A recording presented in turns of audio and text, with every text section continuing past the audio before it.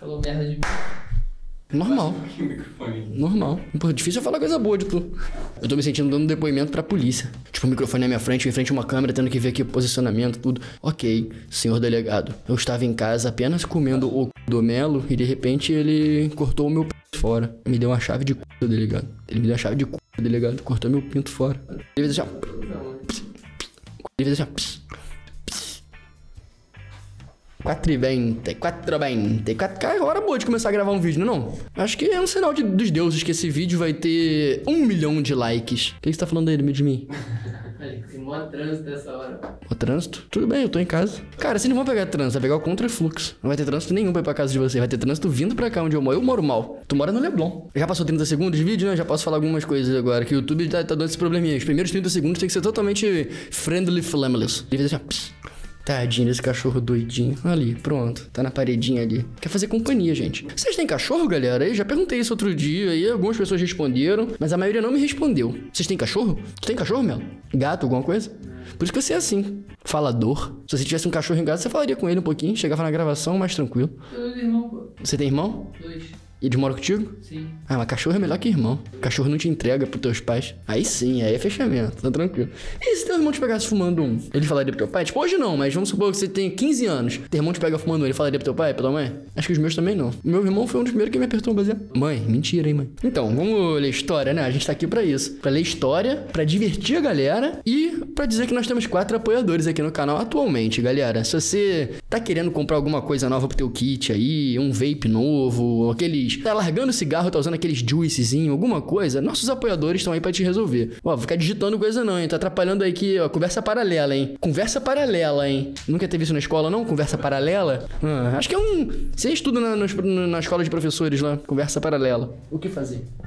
Bom, gente, como eu tava falando, temos atualmente quatro apoiadores aqui no canal e três deles têm cupom de desconto, que é o cupom Tomazine, bem fácil, T-O-M-A-Z-I-N-E. Tomazine, igual meu nome, tá aqui há 10 anos no YouTube, vocês já devem ter visto como é que escreve. Vai ter 10% de desconto na linha canábica da Bar, produtos para deixar o seu cabelo liso, sedoso. A sua pele vai ficar macia e tenra. Tenro é um adjetivo muito bom, né? Então, galera, não corre não, ó. Então, galera, ó, tudo bem, dia dos namorados passou, tu sequelou, não comprou nada? A hora é agora, mano. Corre na linha canábica da Bar e compra aquele hidratante fada verde, tem um creme de massagem do Hulk, tem lubrificante com jambu pra tremer, tudo. Lubrificante com jambu, treme a pica, chota o. Gostei desse jabá, vou mandar pra Baba se ela usa oficialmente lá. Lubrificante bom, gente, se você tá precisando comprar algum kitzinho pra. Algum kitzinho. Tem kits também, verdade. Tem kit na Madruga Shop completo, tem kit de 70 conto pra tu comprar casezinha com seda, piteira, chavador. Pô, na moral, vale muito a pena. Vai na Madruga Shop, usa o cupom Tomazine e compra as piteiras Yellowfinger e também as piteiras Tomazine 420. São as piteiras mais brabas do momento. É igual os caras lá no baile funk. Só que. Não, não, não.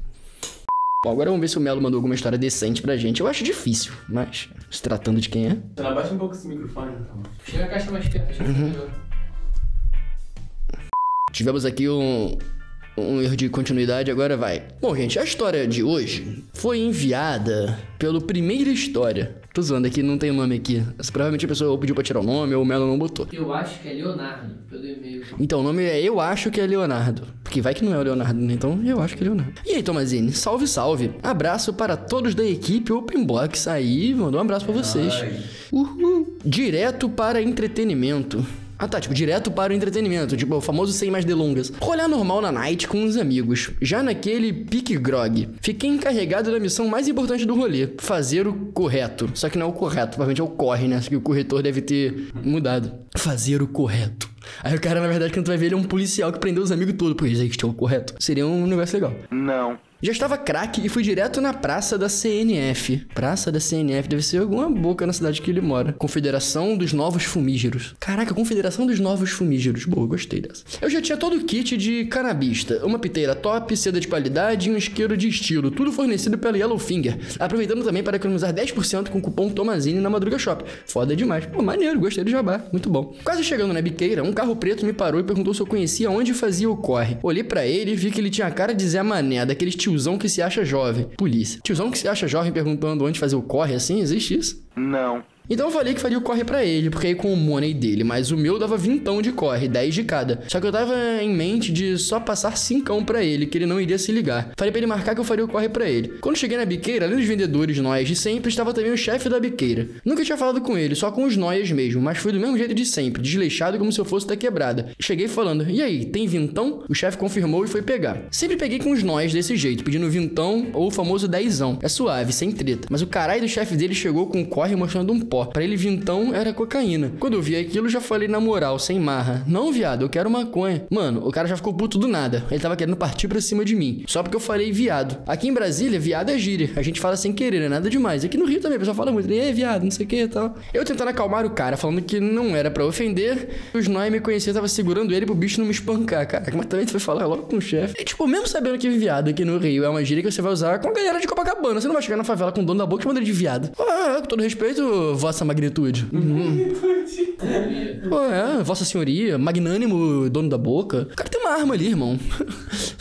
Respeito. Beleza, eu tentando acalmar o cara, não sei o que, pipipi, pipipi, deixa os caras não espancar ele. Pior que o viado dos meus amigos estava só rindo vendo eu me fuder. Depois que ele compreendeu que não era pra ofender e eu vi que tava mais suave, eu ainda perguntei na maior cara de pau. E aí, tem como passar o corre aí? Pois já tinha dado o money. Ele olhou a puta e falou, só rala, tem sorte que eu não peguei teu celular. Caraca, então o cara te roubou no fim das contas. Tá na boca. Assaltado na boca, né? Porra, ele pegou meus 20 conto e ainda tinha que fazer o corre. Ainda bem que tinha um money de volta pra casa. Fui falar com os noia porque com eles eu cheguei mais suave. Eles falaram que não é assim que que tive sorte de não tomar um tiro e tal. No final das contas, dei mais vintão pra biqueira, peguei o corre certo e dei uma micharia de um fininho pro cara, pro Zé do carro pé. Acho que o cara, Zé Mané, não era o cara do, do carro, não. Acho que era tu mesmo. Maior Zé Mané da história não foi o cara do carro, foi tu. E ainda depois do rolê, tive que ir a pé pra casa. Ainda bem que eu tava chapadão. Será que foi o karma? Essa é uma das. Essa é mais uma das histórias que ele escreveu errado. Essa é uma das mais histórias. Essa é mais uma das histórias que eu me ferro só porque eu sou eu. Tipo, todo mundo odeia o Chris.